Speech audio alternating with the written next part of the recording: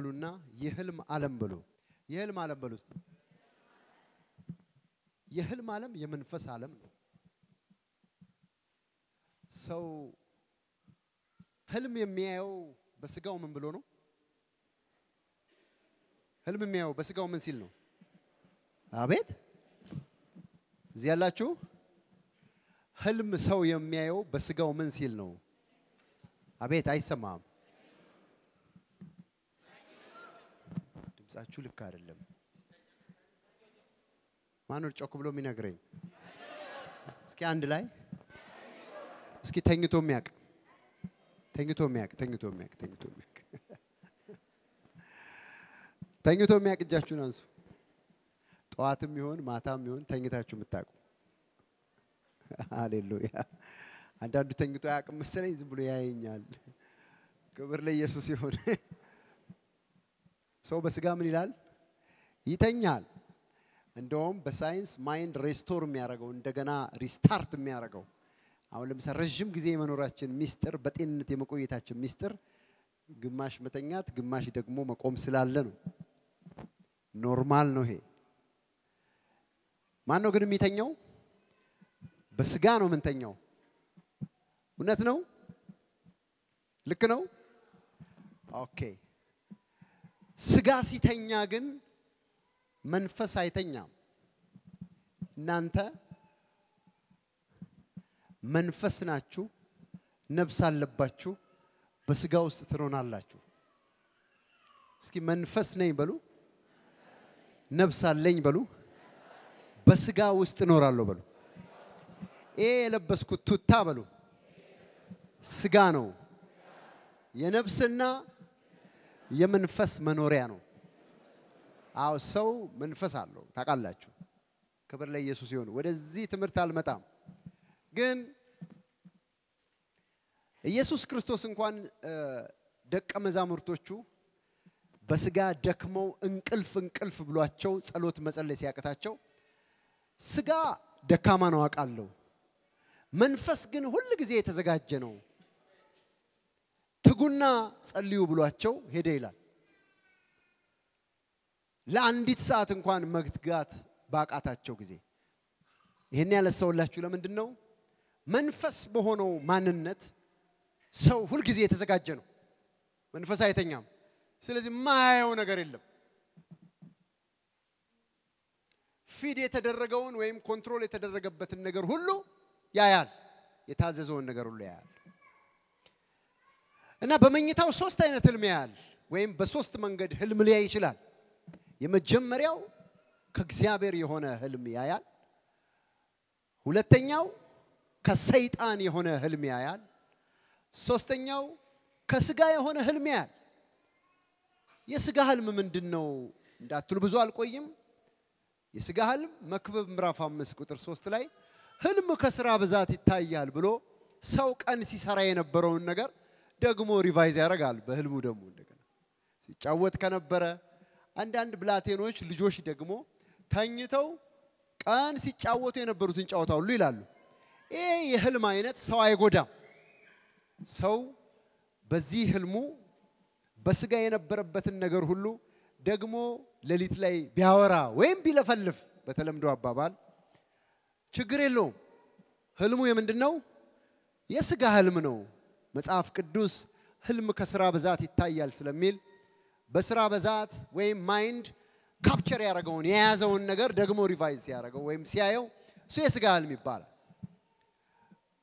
ሁለተኛው የህልም አይነት ግን ከእግዚአብሔር ዓለም የሚመጣ ህልም ነው። ይህ ህልም ከብርሃኑ ዓለም የሆነ ህልም ነው። እግዚአብሔር አምላክ እናንተን ወይም አንቺን ወይም የቀደሙትን አባቶች በህልም ቀጥታ ሰው እንደሚያወራ እግዚአብሔር ያወራ። አሜን ነው። ሰው እንደሚያወራ በምንድን ነው ግን? በህልም በህልም። ሁለተኛው ደግሞ መልአክ እግዚአብሔር አምላክ የላከው ቅዱሳን መልአክ በህልም ሰው እንደሚያወራ ያወራሉ። ይህም ከብርሃኑ ዓለም ወይም ከእግዚአብሔር የሚመጣ ህልም ነው። ሶስተኛው ደግሞ እግዚአብሔርም ሳያናግረው መልአክም ሳያናግረው ያ ሰው ህልምን መስሎ ያያል። እግዚአብሔር እንደ መልእክተኛ ይጠቀምበታል። ለዚህም እንደ ምሳሌ ዘፍጥረት ምዕራፍ 20 ላይ አቤሜሌክ የሚባል የጌራራ ንጉሥ ህልም አለመ። ህልሙ ውስጥ ግን እግዚአብሔር አምላክ አዋራው። ምን ብሎ አዋራው? የጌራራ ንጉሥ አቤሜሌክ ሳራ የምትባል ሚስት ነበረችው። ሳራ በጣም ቆንጆ ስለነበረች አቤሜሌክም ማለት ባለቤቷ ወይም ባሏ እህቴ ናት ብሎ ነበርና የጌራራው ንጉሥ አቤሜሌክ ሚስት አድርጎ ሊወስዳት ፈለገ። ስለዚህም ወሰዳት። ከወሰዳት በኋላ ግን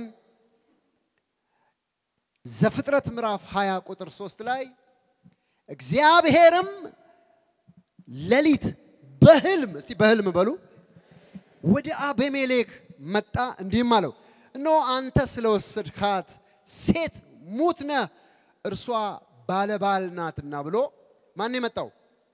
እግዚአብሔር ራሱ አቤሜሌክን ንጉሥ አቤሜሌክን አዋራው። ማን ያዋራው? እግዚአብሔር። ምን አለው? አቤሜሌክን አዋራው። አቤሜሌክን ሲያወራው ግን ያወራው በምንድን ነው? በህልሙ በህልሙ which means ቅድም እንዳልኳችሁ በስጋው ተኝቶ በህልሙ ነው ያዋራው። ማንን? አቤሜሌክን። በሌላ ስፍራ እንደገና ደግሞ እግዚአብሔር መልአኩን ልኮ መልአኩን ልኮ ያዕቆብን አዋርቶታል። ክብር ለጌታ ይሁን። ዘፍጥረት ምዕራፍ 31 ቁጥር 11 ላይ የእግዚአብሔርን መልአክ በህልም ያዕቆብ ሆይ አለኝ፣ እኔ እኖም እነሆኝ አልኩት አለ ያዕቆብ ሲናገር። ማን የመጣው? የእግዚአብሔር መልአክ በናዝሬቱ ጌታ በኢየሱስ ክርስቶስም አንድን ሰው ከዚህ ቀን ጀምሮ ትንቢት እናገራለሁ። የእግዚአብሔር መልአክ እንዲያወራው አሜን።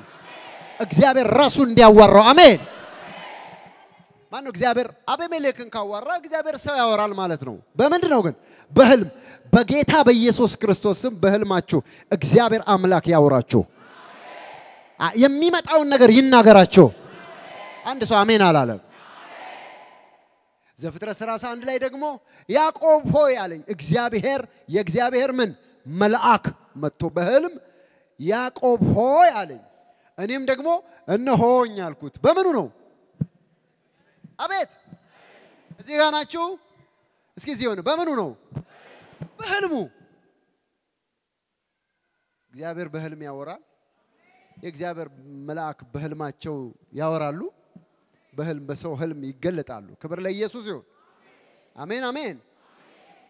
እስኪ አንድ ሰው አሜን ይበል። እንደገና ደግሞ ዮሴፍ ዘፍጥረት ላይ ህልም አለመ። ይሄ ህልም ግን እግዚአብሔርም አላወራውም፣ መልአክም አላወራውም። ስለሚመጣው ነገር ግልጽ የሆነ ሰው ለመፍታት የማይቸገረውን ህልም አየ። ምን አየ? የእኔ ነዶ የእናንተ ነዶ አለና ጀመረ። የኔ ነዶ ነዶ ማለት የታሰረ እህል ነው ማብራሪያው። ቆማ አየው፣ የእናንተ ነዶ ግን ወደ እኔ ስትሰግድ አየው አለ። እነሱም ፈቺ አልፈለጉም። አሃ እኛ ለአንተ ልንሰግድ ነዋ ልንገዛ ነው ብለው ወንድሞቹ ምን አሉት ይላል ጠሉት ይላል። ሰው የሚያየው ይህ ህልም እግዚአብሔር አላወራውም፣ መልአክም አላወራውም። ስለ ምንድን ያዩ? ስለ ነዶ ስለ ታሰረ እህል ግን ትርጓሜ ምንድን ነው? እርሱ በወንድሞቹና በግብፅ ምድር ሄዶ prime minister እንደሚሆን ጠቅላይ ሚኒስትር እንደሚሆን ታላቅ ሰው እንደሚሆን እግዚአብሔር አሳየው። ደግሞ እንደገና ከዋክብት ጨረቃ ለእሱ ሲሰግዱ አየው በሌላ ህልም። ይህንንም ያየው ጨረቃ ኮኮ ምናምን እያለ ነው። የዚህ ጊዜም አልተናገረውም። ስለዚህ በአጠቃላይ እግዚአብሔር አምላክ በህልም ምን ይላል? ይናገራል። እስቲ እግዚአብሔር ይናገራል በሉ። ከእግዚአብሔር የሆነ ህልም አለ በሉ። በኢየሱስ ስም ከእግዚአብሔር በሆነ ህልም ተባረኩ። እግዚአብሔር ከእግዚአብሔር በሆነ ህልም ይባርካችሁ። በኢየሱስ ክርስቶስ ስም አሜን ያለ ሰው ይሆንለታል። ነገር ግን እሁድ ለታ ተናገር ያለው አንድ አምስት ስድስቱን ተናገር ያለው ሰባተኛውን ብቻ ተናግሬ ነው የምጸልየው። እናንተ መልእክቱን የእሁድ ፕሮግራም በ Anointing TV channel ሲለቀቅ መልእክቱን ማየት ትችላላችሁ። እኔ ሀሳቡ እንዲያያዝላችሁ ነው።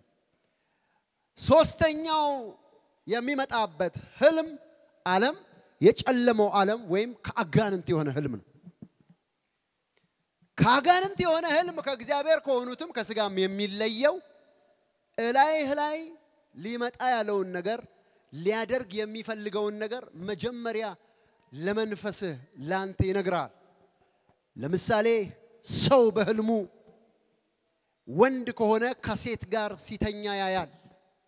ሴት ከሆነች ከወንድ ጋር ስትተኛ ታያለች፣ ወይም ግብረ ስጋ ግንኙነት ስታረግ ታያለች። እነኚህም የምትተኛቸው ወይም የሚተኛ ሰው በአካል የማያውቃቸው ወይም የሚያውቃቸው ወይም ፊት የማያይ ሊሆን ይችላል። ይሄ በመንፈስ ዓለም አደገኛ ነዋል። ይሄ የሚያይ ሰው አጋንንት ሚስት ወይም የአጋንንት ኪዳን የጀመረው ሰው ነው።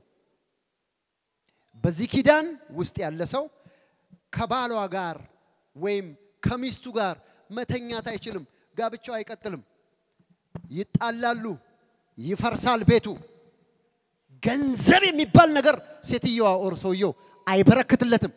ምንም አይነት ገንዘብ እጅ ላይ አይቀመጥም። እንዲህ አይነት ነገር የሚያይ ሰው ሁል ጊዜ ብር እዚህ ጋ አንድ ሺህ ብር እዚህ ጋ መቶ ሺህ ብር ቢይዝ በሆነ ጊዜ ቡን አድርጎ ይጨርሳል። spirit of Jezebel ወይም የኤልዛቤል መንፈስ ነች። እንዲህ አይነት መንፈስ የተጋባበት ሰው በእርግጥ ነፃ ካልወጣ አደጋ ውስጥ ነው ያለው። ወንድ ማግባት አይችልም። ሴት ማግባት አይችልም። ወንድ ሴቲቱን ማግባት አይችልም። ሴትም ወንድየው ማግባት አትችልም። ካገባችም ጋብቻው አይቀጥልም፣ ይፈርሳል። የፈለገ company የፈለገ ሰው ስራ ቢኖረው ስራው ይበላሻል። ብር መያዝ አይችልም።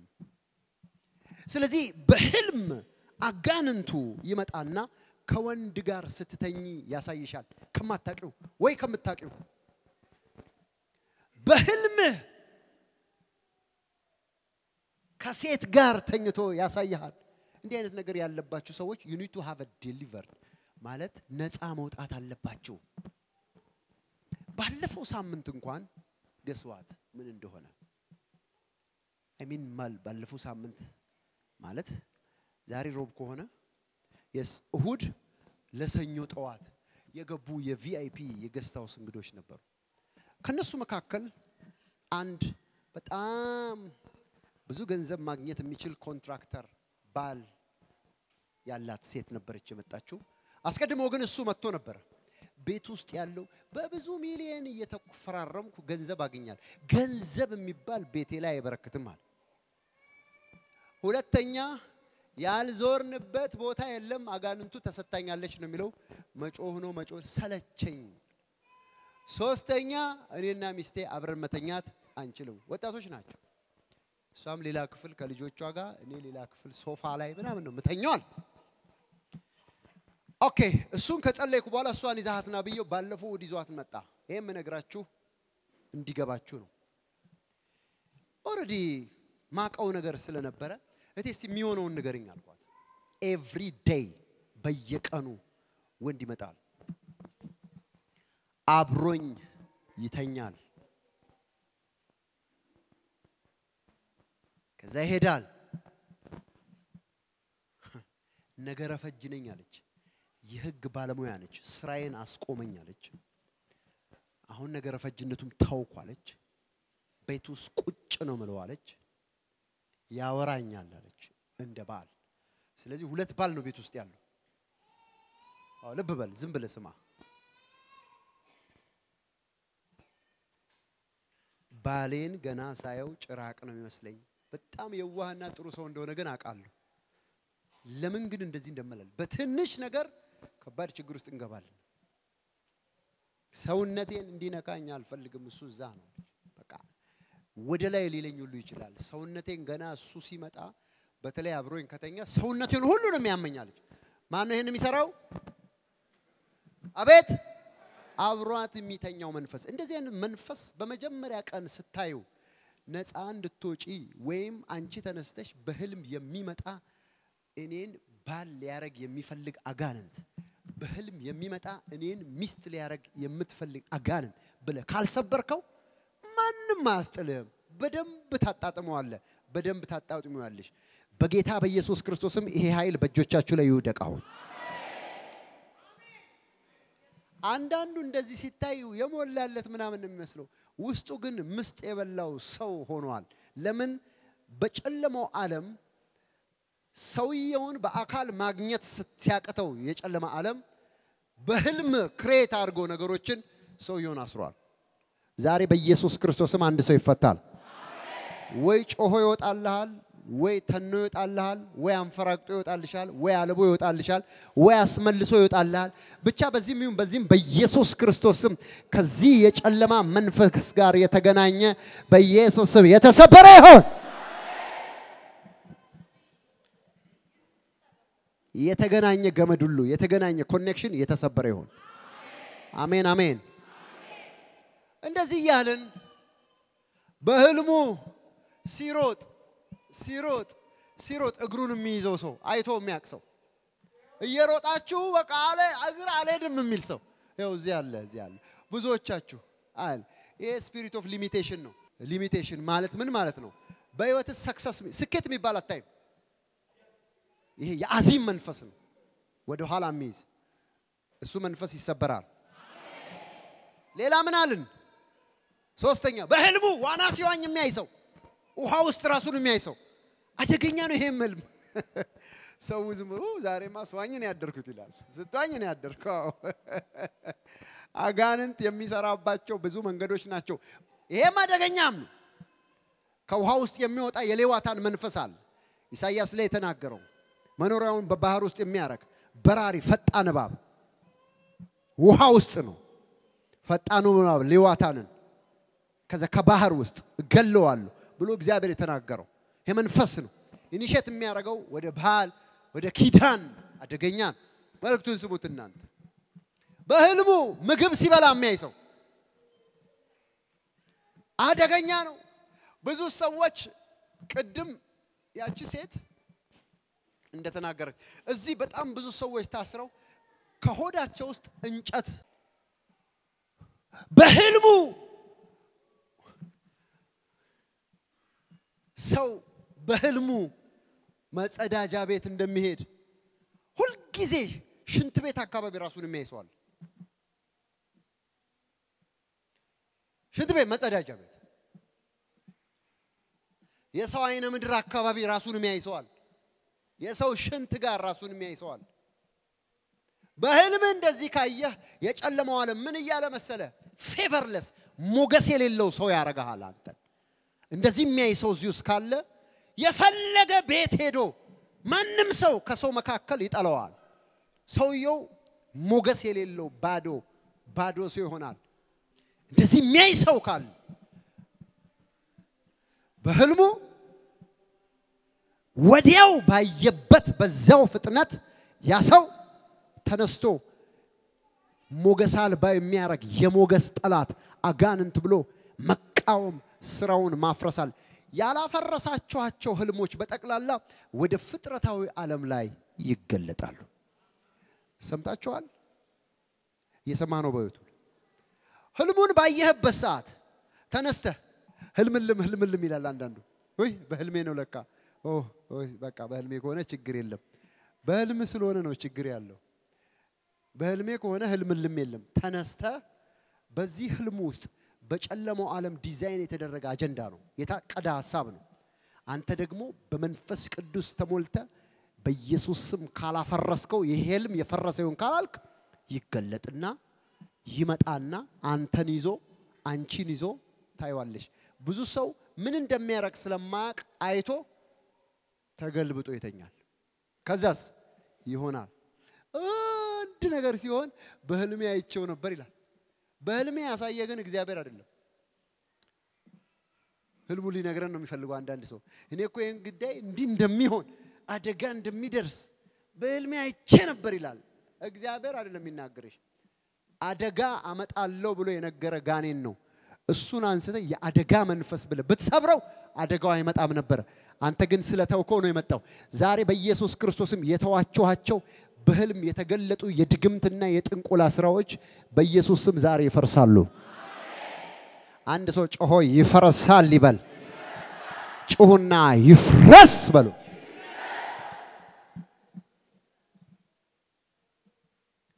ሃሌሉያ።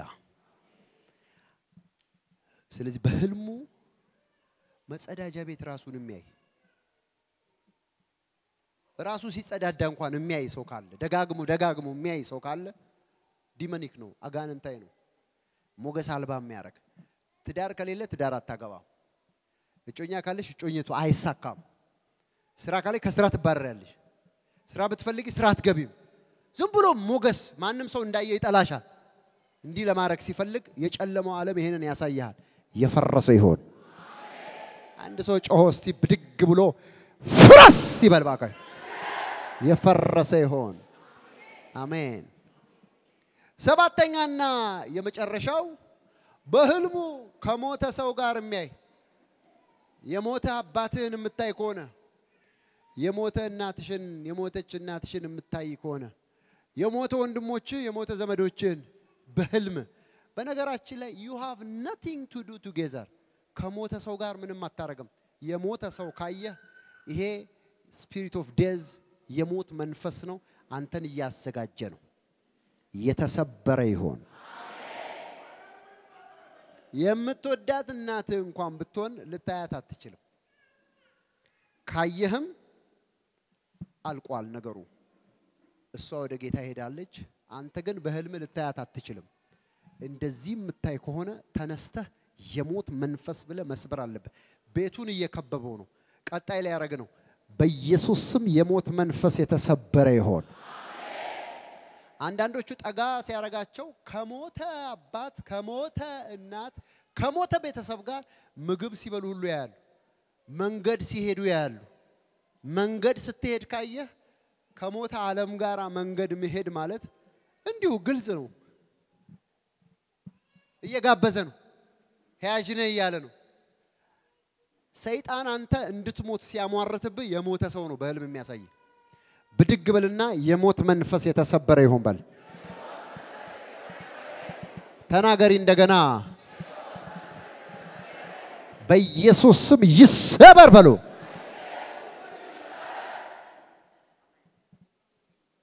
አደገኛ መናፍስቶች ናቸው። ስለዚህ በህልም የሚታዩ ክፉ ነገሮች በጠቅላላ በልጆቻችሁም ይሆኑ በቤተሰቦቻችሁም ይሁን በኑሯችሁም ይሁን ተነስታችሁ ማፍረስ ልመዱ። አሜን ነው። የፌስቡክ ገጻችንን prophet ደረሰ ላቀው ህዝባር Anointing TV የሚለውን like እና follow ያድርጉ። እንዲሁም የዩቲዩብ ቻናላችንን Anointing TV ቻናል የሚለውን subscribe ያድርጉ። በየጊዜው የምንለቃቸውን የተለያዩ ቪዲዮዎች እንዲደርሱ የደውል ምልክቷን ይጫኑ።